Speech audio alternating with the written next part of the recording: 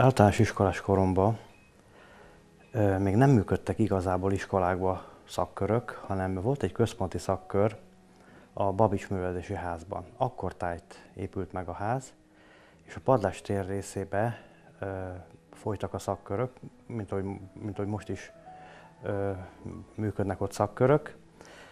És akkor talán hatodik osztályos koromban az egyik barátommal, osztálytársammal elmentünk és beiratkoztunk ebbe a szakkörbe, és gyakorlatilag hát ott kezdtünk el rajzolni. Nagyon jó volt, én visszaemlékezem, pedig elég régen volt, visszaemlékezem arra, hogy milyen rajzokat készítettünk, tanulmányrajzokat különböző térformákról, kockákról, szögletes formákról, drapériákról. Ma is előttem van az a kis műterem, vagy az a kis rajzterem, ahol dolgoztunk. Persze festettünk is, és a technikával is dolgoztunk, de ez a rajzás vagy nagyon megmaradt bennem. Nem voltunk túl sokan, talán 7-8-an lehettünk ebbe a szakkörbe. Érdekes, hogy nem emlékezem, hogy kivezette a szakkört. Erre nem emlékszem. Erre nem emlékszem, de a feladatokra igen, amiket rajzoltunk. E, valahogy az a levegő, az a millió magával ragadott. Megszerettem. Hát és aztán utána onnantól rajzoltam. Rajzoltam és rajzoltam.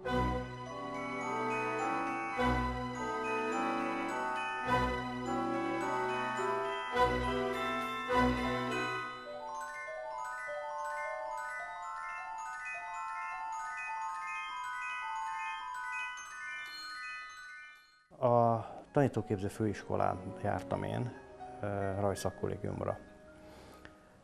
Ott igazából már komolyabban foglalkoztunk a rajzolásfestéssel. Az a fajta tanulmány, amit én ott 13-14 éves koromban elkezdtem, azt még mindig azt rajzoltam, azokat a tanulmányokat, tanulmányrajzokat a főiskolán is. Nagyon jó volt. Jó volt az a csoport, ahol dolgoztunk. A Farkaspál tanította a rajzot. Szerettünk rajzolni, szerettünk festeni. Igazából komolyabban akkor ismerkedtünk meg a, a, a rajzolás-festés fortéjaival, technikájával. Aztán később ez valamiféle alapot adott, én azt hiszem, mert, mert a stúdiumok megtanították az embert rajzolni. Tehát ott állt mögöttünk a, a Pali, és akkor mondta, hogy hogyan csináljuk, mit javítsunk. Nem kell sokat beszélnie, értettük, hogy mire gondol és mit akar. Sokféle technikával dolgoztunk, de érdekes módon itt ö, olajfestést talán egyszer, ha elővettük. Zömében vízzel dolgoztunk és rajzoltunk.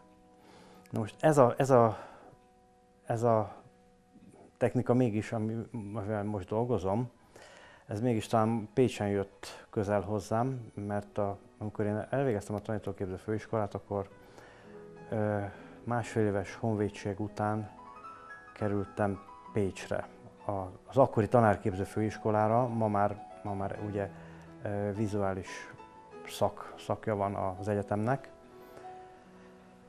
Hát ott kezdtünk el igazából festeni. Hát ott ismerkedtem meg a festéssel, az olajfestés ízével, az olajfestés szépségével, csodálatával. Az, az nagyon jó időszak volt.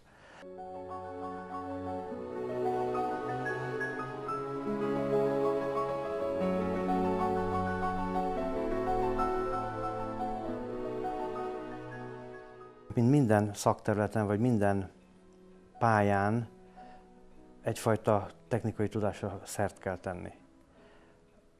A, a művészet az más az, hogy én megtanultam, vagy megtanulok rajzolni, festeni, megismerem a, a technikai fogásokat, az egyfajta mesterségbeli tudást ad. Attól még nem biztos, hogy amit csinálok, az művészet. Én, ha tökéletesen tudok rajzolni egy portrét, vagy tökéletesen megrajzolok egy, egy virágcsendéletet, vagy akár egy tanyaépületet, akkor igen, jól elsajátítottam a rajzolás mesterségét. Megtanultam a fogásait, mint ahogy egy asztalos mester is megtanul egy asztalt vagy egy bútordarabot elkészíteni tökéletesen, és a szakmájának a, az ismeretében remeket létrehozni, ugyanúgy egy rajzot vagy egy festményt is elkészíthetünk mesterségbeli tudásunk birtokában. Ez még nem jelenti azt, hogy művészeti alkotássá válik. Hogy, hogy mitől válik művészeti alkotássá, amit, amiről itt most beszélünk? Hát az az a többlet, ami, ami, hát, ami jön, ami, amit egyrészt lehet tanulni, mert, mert a főiskolán Pécsen nekem a Keserű Jona volt a, a tanárom, aki festést tanította. Ő valóban megtanította a technikáját. Onnantól kezdve, hogy, hogy hogyan kell kimosni az ecsetet, egészen odáig, hogy hogyan kell a színeket használni, hogyan kell a kompozíciót felépíteni, hogyan kell alkalmazni azokat a technikai fogásokat, amit már megismertünk egy alkotásnál, hogyan lehet felépíteni egy alkotást. Na most persze természetesen a külső instrukció mellett a belső egyéni gondolatok, érzelmek, érzések, az embernek a, az attitűdje, a millió, ami körülveszi az embert, ezek mind befolyással vannak a, a, a műalkotás létrehozásában. Ettől lesz művészeti értéke, amit készítünk. Nem attól, hogy jól lerajzolom, vagy megfestem, vagy mennyire naturálisan tudok bemutatni valamit, hanem attól, hogy az emberben létező érzelmi érték, a világról alkotott elképzelése mennyire, mennyire jelenik meg egy alkotáson. Ez teszi műalkotássá, vagy művészeti értékké véleményem szerint.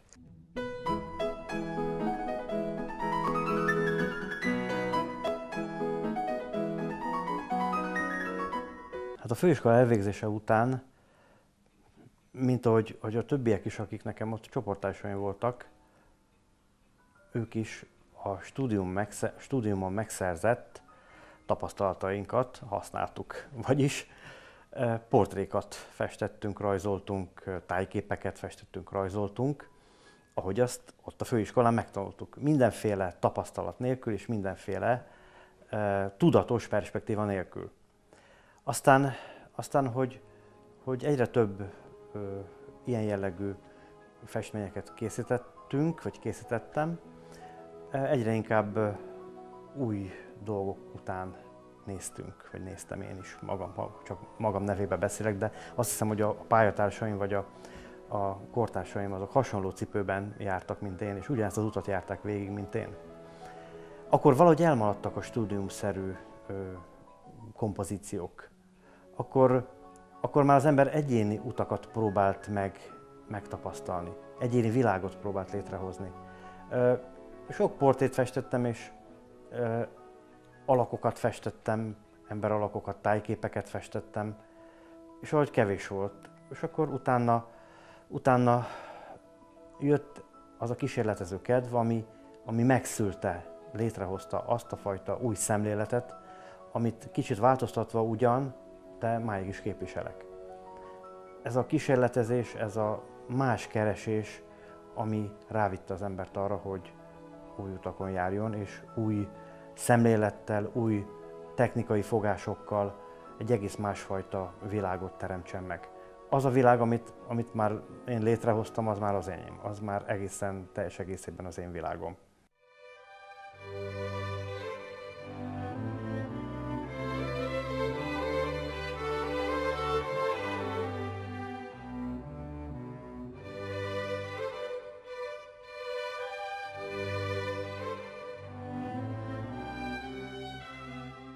Mint ahogy ez a kép is mutatja, a jellegzetes figurákon túl a színeknek nagyon nagy jelentőségük van Tibor munkáiban.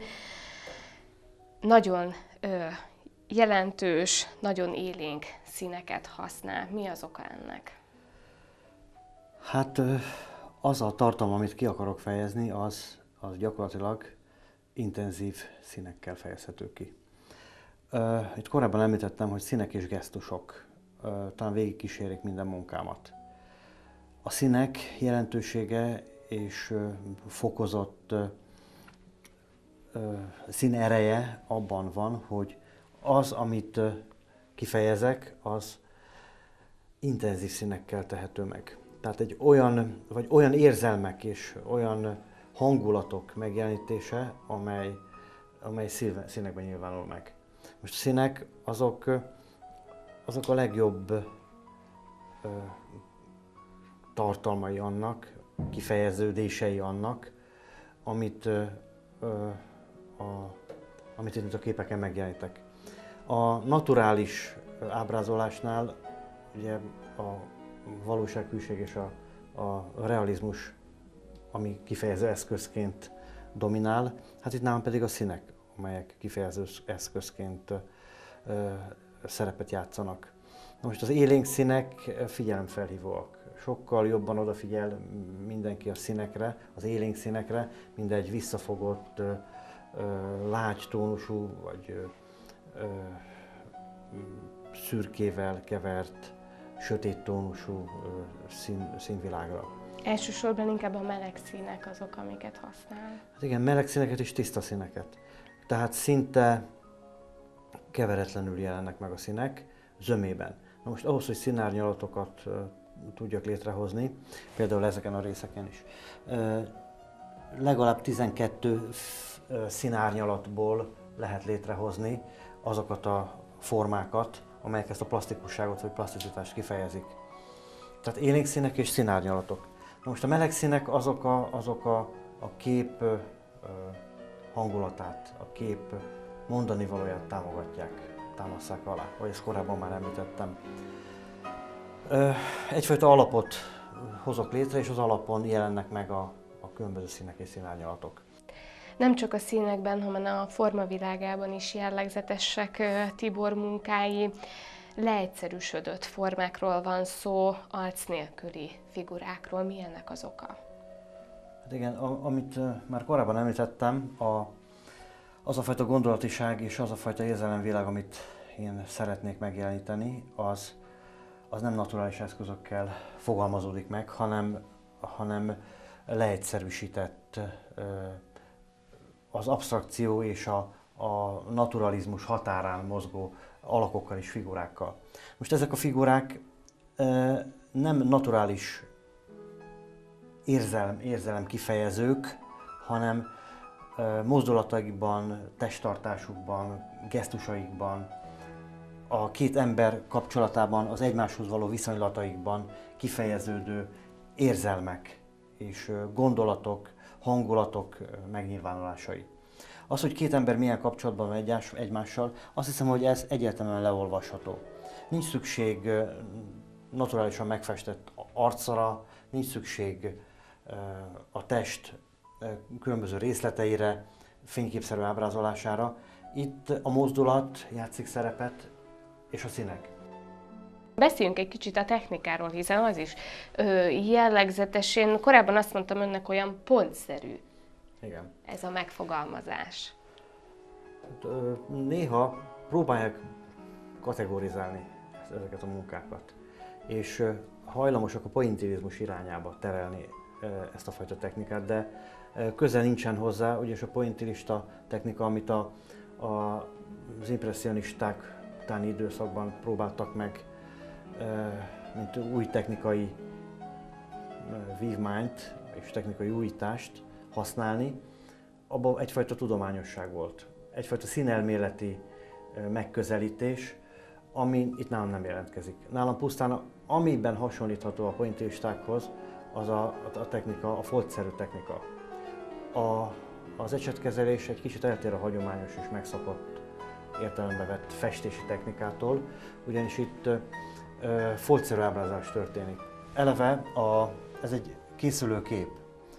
Eleve a, az alapom egy faros lemez, amelynek a hátoldalát használom. Ezért ez egy igen durva faktúrájú anyag. Ez eleve befolyással van a, a kompozíció anyagszerűségére. Ez a durva, érdes felület, ez egyfajta porózusabb, egyfajta felfokozott felületet képez, amire kerülnek a színek.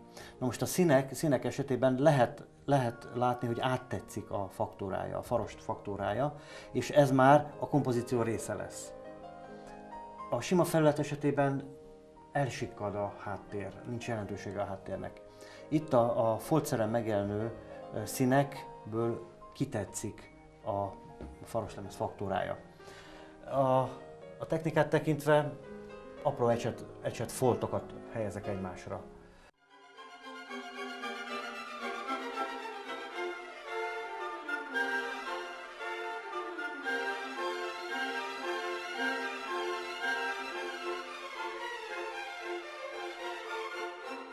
Az országban elég sok helyen volt kiállításom. Budapesten, Győrben, Székesfehérváron, aztán Szentendrén van rendszeresen minden évben a C-galériába egy rövidke nyári időszakra kiállításon minden évben, ennek nagyon örülök. Aztán a környékbe szinte mindenütt. Nagykanizsán volt legutóbb, Kalocsán, Baján, Decsenőcsénybe, Szexárdon természetesen. És Torontóba, Kanadába volt egy év, amikor szerveztek nekem egy kiállítást Hogyan sikerült például oda kijutni?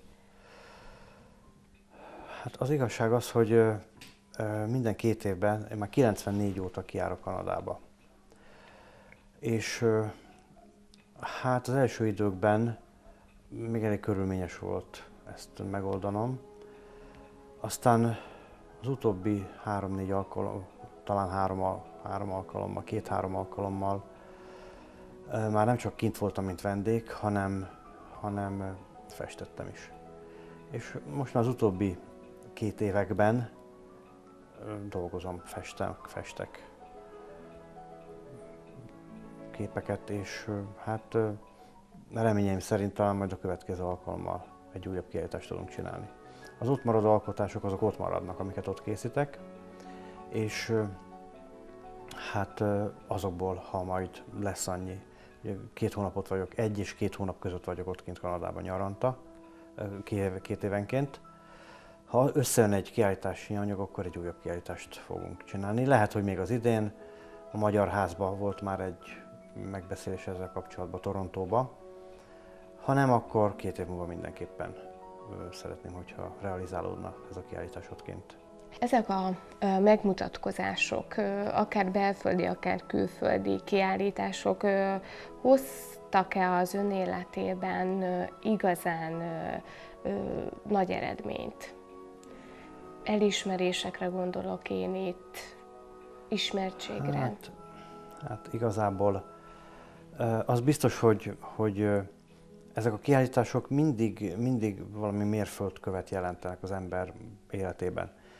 A kiállítás fontos minden művész számára, hogy megmutassa magát, hiszen azért alkot, hogy megossza azt a fajta világot, amit ő teremtett másokkal.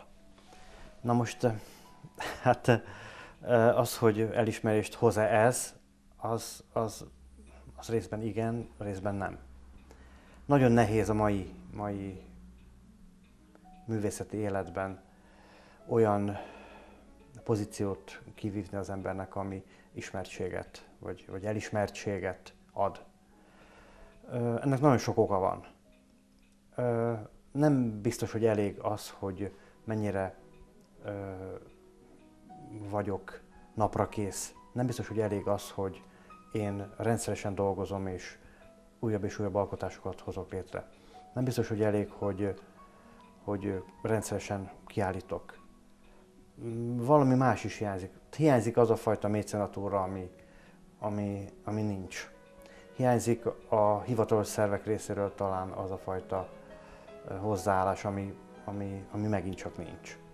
Sok minden összetevője van, de, de hát a mag, maguk a kiállítások nem, hála Istennek nem ezért vannak.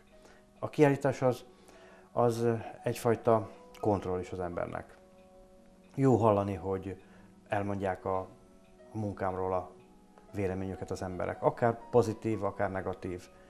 Érdekes egy-egy kiállítás után végigolvasni a vendégkönyvet. Miféle reakcióik vannak az embereknek. Egyfajta visszacsatolás, visszajelzés a, a munkámról. Na most persze, persze ez a laikusoknak a visszacsatolása, a, a közönségnek, a nézőknek, akik bemennek egy kiállításra, és kíváncsiak arra, hogy ez az ember mit hozott létre, mit teremtett, milyen képeket rakott oda elé. És elmondják a véleményüket. Ez jó, jó. De ebben fontos a szakmai mm, megítélés is, a szakmai vélemény is. És ha, ha egy olyan kiállítás szerveződik, ahol művészettörténész nyitja meg, aki hozzáértő, hát az is jó, mert az a szakmai oldalról tekinti át, és mond ítéletet a munkáimról. Tehát mindenképpen ebből a szempontból hasznosak a kiállítások, és, és sokat profitál az ember belőle. A, az elismertség és a siker tekintetében már kétségeim vannak. Mik ezek a kétségek? Hát, amit az előbb elmondtam. Ezek a, ez, a, ez a mai világ, ami, ami kevésbé a művészetek irányába orientálódik. Egyre inkább eltávolodik a művészetektől. Ezt, ezt aki benne él és netán alkotóként benne van, az észreveszi, könnyen észreveszi. Nagyon kevés művész tud megélni a munkájából, a művészeti munkájából, a művészetéből, ha úgy tetszik. Sokan más csinálnak azért, hogy megteremtsék a betevő falatot. Nincs olyan mecenatúra, amely felkarolná a tehetségesebb művészeket, akár kezdő művészekről van szó, akár már talán régóta dolgozó, de, de még mindig minőségileg jó ö, munkát létrehozó, ö, de el nem ismert alkotókat. Hiányzik az állami szervek részéről, vagy a hivatalos szervek részéről, inkább így mondom, hiányzik a, az a fajta támogatás, ami korábban, korábban megvolt. Nincs, nincs ma már ez. És a, a művésznek magának kell boldogulnia, magának kell megteremteni a lehetőséget, és felszínen maradni. Bár, bár hát közben más csinálni, mint például én tanítok, és szeretek is tanítani. Mindig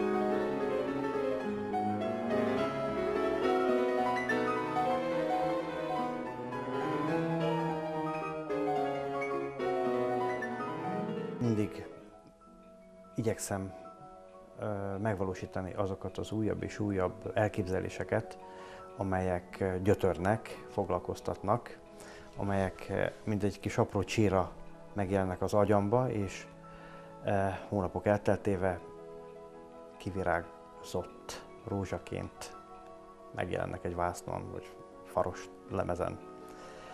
Hát ezt a feladatot az ember végzés csinálja, és nincs szünet, nincs megállás, mert hát szeret, szeretem is csinálni.